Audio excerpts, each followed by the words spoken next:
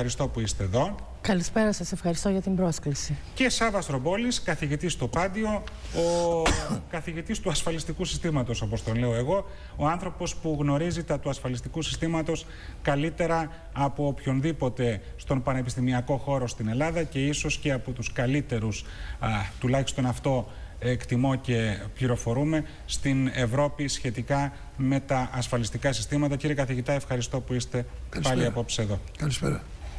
Λοιπόν, κύριε Πετρόπουλε, είναι η ερώτηση του ενός εκατομμυρίου δολαρίων.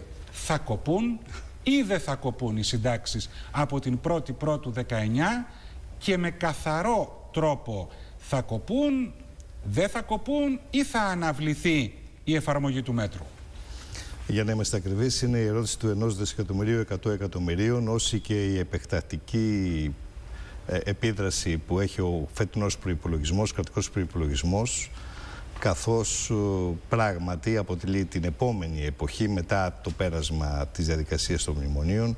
Δανείζω με τον τίτλο από την εκπομπή σας η επόμενη μέρα. Είμαστε σε μια άλλη εποχή. Επιβεβαιώνεται αυτό από το γεγονός ότι ο προϋπολογισμός που είναι επεκτατικός για πρώτη φορά καθώς η Ελλάδα εντάχθηκε για, ε, μετά, για πρώτη φορά από το 2012 στο Ευρωπαϊκό Εξάμεινο, κατέθεσε το δικό της σχέδιο κρατικού προϋπολογισμού, ο οποίος και ενεκρίθη. Ενεκρίθη, μολονότι άλλες χώρες που κατά τις αντιλήψεις της αξιωματικής αντιπολίτευσης είχαν προβάδισμα στα επιτέγματα στα πλαίσια της Ευρώπης, ε, ενώ την Πορτογαλία αλλά και την Ισπανία, τη Γαλλία, την Ιταλία, το Βέλγιο, την Σλοβενία πήραν επιστροφή, δεν ξέρω αν ξέχασα την Ιταλία, επιστροφή του σχεδίου προπολογισμού για να το διορθώσουν. Πριν από λίγη ώρα, μιας και το λέτε να το αναφέρουμε, είναι η είδηση της βραδιάς. Η Κομισιόν επέστρεψε, θα το λέω έτσι αυθαιρετώντας ως απαράδεκτο, τον προπολογισμό της Ιταλίας, ζητώντας ουσιαστικά να γίνουν σημαντικές βελτιώσεις σε σχέση με το έλλειμμα, αλλά όχι μόνο, και έδωσε στην Ιταλία ένα περιθώριο δύο εβδομάδων, νομίζω, για να επιστρέψει βελτιωμένο τον προπολογισμό. Αυτό από μόνο του θα μας το πει, φαντάζομαι, η κυρία Ξαφά που έχει την εικόνα των αγορών. Από μόνο του από απόψε το βράδυ και από αύριο το πρωί θα θα πρημοδοτήσει, θα πυροδοτήσει μάλλον μία σειρά από εξελίξεις στις αγορές και με τα επιτόκια των Ιταλικών ομολόγων φαντάζομαι και μια αναταραχή στην Ευρωζώνη. Δεν έχει ξανασυμβεί κύριε, αυτό. Κύριε Κοτρότσου, ήθελα να πω με αυτό ότι δεν επιχαίρω για αυτή την κατάσταση των χωρών της Ευρωπαϊκής Ένωσης αλλά καταδεικνύεται το μεγάλο πρόβλημα. Αναδεικνύεται και καταδεικνύεται η ανάγκη να αλλάξει η πολιτική στην Ευρωπαϊκή Ένωση διότι ε, όπου ακολουθήθηκε αυτή η συνταγή δυστυχώς έφερε καταστροφικά αποτελέσματα.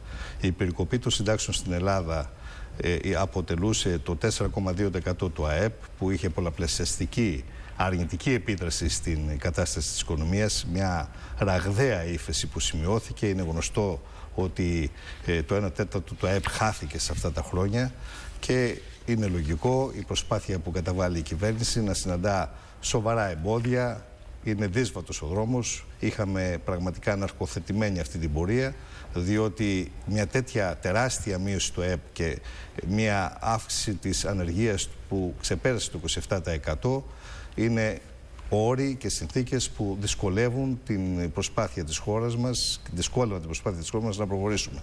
Τώρα λοιπόν που πετυχαίνουμε και με την επιβράβευση από την Κομισιόν ε, των στόχων που έχουμε, εκείνο που πρέπει και χρειάζεται η χώρα να δει είναι την συμφωνία επιτέλους των κομμάτων της αντιπολίτευσης ότι αυτή η προοπτική είναι αισιόδοξη για την Ελλάδα, είναι θετική για την οικονομία, είναι προοπτική ευημερίας και συμμετοχή όλων σε αυτό το νέο ορίζοντα που ξανοίγεται μπροστά μας.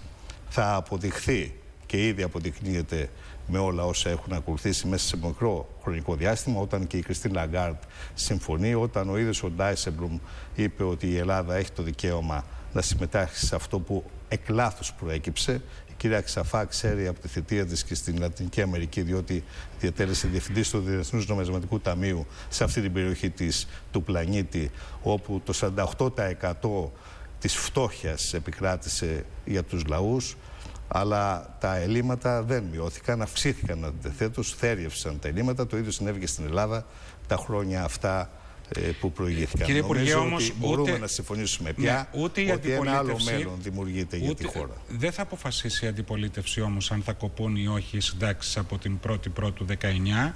Η κυρία Λαγκάρντ βεβαίως είναι βαρύνουσα η άποψή της, αλλά το Διεθνές Νομισματικό Ταμείο αντιλαμβάνεστε και το ξέρετε πολύ καλύτερα από εμένα ότι δεν έχει ε, σημαίνοντα και σημαντικό ρόλο πλέον στην μεταμνημονιακή περιοχή, ε, εποχή μάλλον στην Ελλάδα. Άρα εγώ επιμένω και θέλω μια απάντηση από εσάς σχετικά με τις συντάξεις γιατί αυτοί που μας παρακολουθούν αυτή τη στιγμή κάνουν τους υπολογισμούς τους. Και τα θα περίμενα χάσουν αυτά. χρήματα από την 1η Πρώτου 19. Θα κοπούν οι συντάξεις ή όχι; Ευθέω θα πω όχι. Και δεν υπάρχει τέτοια περίπτωση περικοπής. Αυτό δεν το λέω τώρα και πρέπει να εξηγήσω γιατί. Ναι, το λέγατε και παλιότερα εσείς, Το αλλά λέγα από τώρα πολύ έφτασε παλιά, η ώρα. Διότι έβλεπα τα στοιχεία και τα δεδομένα που διαμορφώνονταν στην πορεία της οικονομικής ανάπτυξης ε, του, της κοινωνικής ασφάλισης ότι πραγματικά δημιουργούνταν το περιθώριο για α, τέτοια μέτρα στο περσινή, στην περσινή συζήτηση για τον προϋπολογισμό του 2018 στη Βουλή δήλωσα και είναι καταγραμμένο στα πρακτικά ότι δεν θα χρειαστεί να γίνουν περικοπές συντάξεων. Όχι μόνο για το 19 αλλά και για τα επόμενα χρόνια διότι όλη η αναλυτική μελέτη που εκτείνεται μέχρι το 2070 δείχνει μια διαρκή μείωση του, της δημοσιονομικής δαπάνης του ΑΕΠ. Αυτό θα γίνει και για Θα το το 2000 κουβεντιάσουμε αυτό και για το αμέσως 19 μετά. Και για το Ας 19. βάλουμε- ας βάλουμε με, μια περι- προ- με μη περικοπή των συντάξεων, να το ολοκληρώσω Ναι. αυτό, χωρίς περικοπή των συντάξεων, έχουμε μείωση ε, της δημοσιονομικής δαπάνης σε σχέση με το ΑΕΠ γύρω στο 15,4% όταν η υποχρέωση της χώρας είναι να διαμορφώνει δημοσιονομική δαπάνη που δεν θα ξεπερνά το 16,2%. Ακριβώς. Τώρα, ε, ε, εγώ θα παρακολουθώ και ζητώ συγγνώμη στους τηλεθεατές συνέχεια το κινητό μου γιατί μου έρχονται μηνύματα και θέλω να είμαστε σε επαφή και με αυτό ακούω, που, βουίζει που συνέχεια ζητάει, από που δίπλα ζητάει ο του. κόσμος. Όχι, ε, έρχονται μηνύματα από τηλεθεατές. Είπατε λοιπόν και το κρατούμε πρώτη αναφορά ε, απόψινή, δεν θα κοπούν οι συντάξεις και να εικάσω ότι αναφέρεστε σε ακύρωση του μέτρου, όχι αναβολή. Δεν υπάρχει περίπτωση αναβολής, το έχω απαντήσει πάνω από 10 φορές. Ωραία. Η ενδέκατη απόψε, αλλά κα- Ενδέκατη. όσο πλησιάσουμε στην 1η Ιανουαρίου, η τελευταία φορά κάθε φορά θα μετράει. Λοιπόν, ρωτάει, ρωτάει κόσμος, τι θα γίνει με τους νέους συνταξιούχους; Εντάξει, με τους παλαιούς λέτε δεν θα κοπούν οι συντάξεις. Οι συντάξεις του ΟΑΕ είναι πετσοκομμένες με το νέο νόμο, κατρούγκαλου προφανώς εννοούν, έως και 30% τι θα γίνει με τους νέους συνταξιούχους. Οι συντάξεις του ΑΕ δεν ε, είναι πετσοκομμένες. Ε, θα σας πω ένα πράγμα το οποίο ξέρουν οι παλιοί συνταξιούχοι του ΑΕ και οι συνδικαλιστές των ο, εκπροσώπων ε, των επαγγελματικών και των εμπόρων ότι ε, υπήρχε ένα μπόνους 200 ευρώ σε ευρώ το λέω τώρα, Ναι, ήταν ναι. τότε σε δραχμές ε, από την διοίκηση του ΟΑΕ κάποια χρονιά πριν α, α, σημα, σημαδευτεί η κρίση ε, μπροστά στον ορίζοντα, πριν δείχνει τα σημάδια της, ε, το οποίο δεν αντιστοιχεί σε εισφορές, δεν αντιστοιχεί στις πραγματικές κεφαλαιακές δυνατότητες του ΟΑΕ. Αυτό ήταν κάτι που δόθηκε εκτός και να το πω τέλος πάντων, ε, νομίζω ότι πρέπει να εξηγούμαστε καθαρά πια, ε, τότε ο διοικητής του ΟΑΕ εκείνη την εποχή εκλεγόταν από τους ασφαλισμένους. Ήταν ένα μπόνους το οποίο εξασφάλιζε την εκλογή του τότε διοικητή. Μάλιστα. Λοιπόν, ε, ο Υπουργός μας έδωσε, την ε, κυρία Ξαφά, κύριε Ρομπόλη, μας έδωσε την απάντηση σχετικά με το τι θα συμβεί από 1η Πρώτου 19 με τις συντάξεις. Ότι δεν θα κοπούν. Το ερώτημα το αντιστρέφω τώρα. Πρέπει ή δεν πρέπει να κοπούν. Γιατί εδώ υπάρχουν αντικρουόμενες απόψεις. Και έρχομαι σε εσάς, κυρία Ξαφά, διαβάζω στο The Huffington Post μια ενδιαφέρουσα συζήτηση που είχατε με τον δημοσιογράφο Δημοσθένη Γκαβέα πριν από λίγο καιρό, που βάζετε αυτό το ερώτημα και λέτε ότι για να πληρωθούν οι συντάξεις επιβάλλονται εξαιρετικά υψηλές εισφορές και φορολογικοί συντελεστές που οδηγούν σε λεξιπρόθεσμες υποχρεώσεις και αποτελούν κίνητρο για φοροδιαφυγή, ενώ συμπιέζονται οι δαπάνες για δημόσιες επενδύσεις και κοινωνικές παροχές. Αυτή η κατάσταση δεν είναι βιώσιμη. Και ρωτώ ευθέως και να μας το αναλύσετε. Εσείς είστε υπέρ του ότι πρέπει να κοπούν οι συντάξεις από 1η Πρώτου 2019. Ναι, είμαι υπέρ και θα εξηγήσω αμέσως γιατί. Καταρχήν μου κάνει εντύπωση ότι ένα μέτρο όπως είναι η περικοπή των συντάξεων και η περικοπή του αφορολόγητου τον επόμενο χρόνο Ναι, ναι. δεν θεωρούνται διαρθρωτικό μέτρο παρόλο που στοχεύουν στην εκβάθρον αναδιάρθρωση των δαπανών και των εσόδων του δημοσίου. Δεν είναι δυνατόν να ξοδεύουμε το 17% του ΑΕΠ για συντάξεις όταν υπάρχουν κραυγαλαίες ελλείψεις στα νοσοκομεία, στις υποδομές, στις μεταφορές. Τα μισά λεωφορεία δεν κυκλοφορούν γιατί δεν έχουν ανταλλακτικά. Και μπορεί τους Ευρωπαίους να μην τους ενδιαφέρει ότι οι άνθρωποι περιμένουν στη στάση τρία τέταρτα για να έρθει το λεωφορείο, αλλά θα έπρεπε εμάς να μας ενδιαφέρει. Ε, τώρα, Και θα λύσουμε το θέμα των λεωφορείων και της καθυστέρησης και των ε, ανταλλακτικών μειώνοντας κι άλλο τις συντάξεις. Υπό την έννοια ότι αυτοί που περιμένουν στη στάση των λεωφορείων κυρίως συνταξιούχοι είναι. Και νέοι βεβαίως.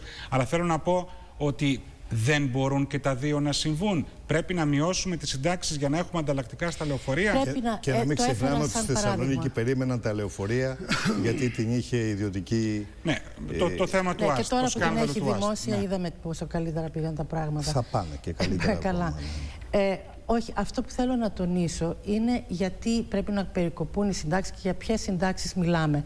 Μιλάμε για την προσωπική διαφορά, δηλαδή τη διαφορά μεταξύ αυτού που εισπράττουν, τις συντάξεις που εισπράττουν οι παλαιοί συνταξιούχοι, δηλαδή προ της μεταρρύθμισης Κατρούγκαλου του 2016 και αυτού που θα εισέπραταν εάν εφαρμόζονταν και σε αυτούς οι παράμετροι της, α, της μεταρρύθμισης Κατρούγκαλου.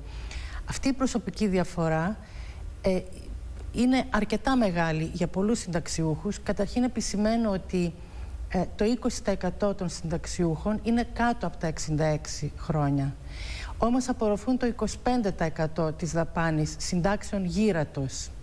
Δηλαδή είναι περίπου 400.000 ή κάτω των 66 και σε επισυνόλου 2 δισεκατομμυρίων και εισπράττουν σχεδόν 6 δισεκατομμύρια, ξοδεύουμε 6 δισεκατομμύρια σχεδόν για συντάξεις σε ανθρώπους κάτω από τα 66 χρόνια, όσο δηλαδή πάνω από δύο ένφια, ετήσιοι ένφια. Ε, και αν κάνετε τη διαίρεση θα δείτε ότι η μέση σύνταξη είναι περίπου 1.200 ευρώ το μήνα για τους κάτω των 66 ετών και είναι μόλις 900 ευρώ για τους άνω των 66. Και ρωτώ αν αυτό είναι κοινωνικά δίκαιο. Ναι. Να απαντήσω εγώ, αν ρωτάει Ε, εμένα. προ, προφανώς εσάς δεν μπορεί να ρωτάει εμένα.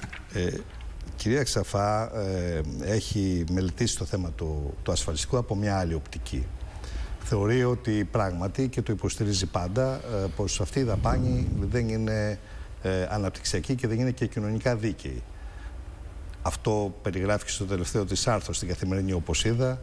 Είναι κοινωνικά άδικη η δαπάνη για τις ασφαλιστικές εισφορές ενώ θα ήταν δίκαιη η μεταβίβαση αυτών των χρημάτων στην ιδιωτική σφαίρα, στις επενδύσεις γιατί έτσι θα ήταν καλύτεροι οι άνθρωποι. Αλλά αυτή η συνταγή δοκιμάστηκε. Το είπα νωρίτερα και θα ήθελα αυτό να μου το επιβεβαιώσει η κυρία Ξαφά. Ήταν διευθύντρια του Διεθνούς Νομισματικού Ταμείου στην Λατινική Αμερική, όπου η φτώχεια εξωτε- εκτοξεύτηκε στο 48% του πληθυσμού και τα χρέη αυξήθηκαν των, χα- των χωρών αυτών. Και υπήρξε μια τεράστια που δεν μπορεί να ξαναγυρίσει πίσω υποχώρηση και των δικαιωμάτων και των οικονομιών αυτής της περιοχής του πλανήτη. Το ίδιο ακριβώς λέει και για την Ελλάδα. Και θυμάμαι το 2014 η πρόταση της δράσης ε, που η κυρία Ξαφά συμμετέχει, είναι το κόμμα με τον κύριο Μάνο, μιλούσε για σύνταξη μετά τα 67, όλοι να παίρνουν σύνταξη μετά τα 67 και να παίρνουν μια σύνταξη των 700 ευρώ όλοι. Αυτού του είδους η, η, η, η, η θέση, πρώτα απ' όλα, ακόμα και αν θα μπορούσε να την υποστήριξει κανείς, προϋποθέτει μία δαπάνη τουλάχιστον 160 δισεκατομμυρίων ευρώ, σε βάθος χρόνου βεβαίως δεν είναι αμέσως, που θα κάλυπτε για γεννημένα δικαιώματα των ήδη συνταξιούχων, διότι δεν θα υπήρχε Τι κόστος η είναι αυτό, συνέχιση. συγγνώμη; 165 δισεκατομμύρια. Πού το βρήκατε αυτό το νούμερο; Ε, σας το λέω εγώ, διότι Ναι, ναι, το, το ναι, μέτρο που είναι έχετε... Περίπου και- δεκαπλάσιο και- από και τα το συ- νούμερο που εμείς καταλήγουμε.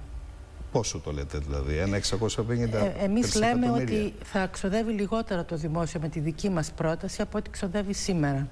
Αλλά για να σας αυτό, απαντήσω... είναι, αυτό είναι το κόστος της μετάβασης που έχουμε Ναι, ναι, ναι, ναι. συζητήσει Όχι, στο ραδιόφωνο, κύριε Ρομπόλη. Είναι άλλο, αλλά νομίζω ότι θα βοηθήσω πολύ γιατί έχω Ναι, ναι, ναι. τα- Ωραία, Ναι. θα, θα μας πει και ο κ. Ρομπόλης που τα Να- έχει να απαντήσω ένα λεπτό εξετάσει, σε αλλά αυτό αυτό που λέτε αφορά για τη και Λατινική την Αμερική. σκέψη, και βεβαίως, και τη σκέψη ε, και νομίζω ότι επειδή επ' ευκαιρία της συνάντησής μας κοίταξε λίγο και τα στοιχεία τα, των οικονομικών επιδόσεων της κυβέρνησης του πατέρα Μητσοτάκη το 2000 με 2013, αν δεν κάνω λάθος, από 32 δισεκατομμύρια...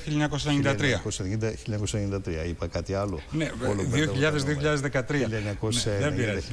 1990-1993. Μπήκαμε στη μηχανή του χρόνου. Ε, ναι, που ως διευθύντρια του Οικονομικού Γραφείου του τότε Πρωθυπουργού, ε, του αείμνης του ε, Κωνσταντίνου Μητσοτάκη, νομίζω ότι από 32 δισεκατομμύρια το χρέος της χώρας εκτοξεύθηκε στα 63, 68 Ναι, μην, μην, μην τη δισεκατομμύρια. γυναικεύουμε Ωραία, όμως ωραία. τη συζήτηση Να- να- να τώρα, απαντήσω να για μείνουμε να στο μην- ασφαλιστικό, για να μην πλατιάζουμε. γιατί έρχονται και Όχι, πολλά είναι δο- ερωτήματα. Επειδή είναι δοκιμασμένες πολιτικές τα λέω, δεν τα λέω για άλλο. Λέτε, λέτε Με λοιπόν, τις ίδιες συνταγές επιστρέφετε που σε αυτό που σήμερα έλεγα στην τίθενται αρχή μπροστά. ως ερώτημα, εάν οι πολιτικές περί το ασφαλιστικό έχουν ιδεολογικό πρόσημο ή Έχουν όχι. ιδεολογικό και εσείς λέτε πρόσημο. ότι έχουν Αυτό θέτει η ιδεολογικό πρόσημο. κυρία Ξαφά. Ωραία, λέει μου τα λεφτά επιτρέπετε να καλύτερα να τα απαντήσω. δίνουμε Βεβαίως, βεβαίως. στην Πρώτα για ε, την- οικονομική για την οικονομία. κυβέρνηση Αλλά είπα τι Μητσοτάκη. συνέβη. Έχουμε χθες. χρόνο αρκετό.